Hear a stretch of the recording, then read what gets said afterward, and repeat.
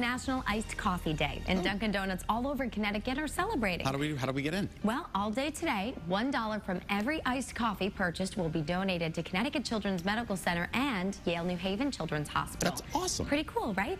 That's it for this morning's Eye Opener. Channel 3 Eyewitness News will be right back.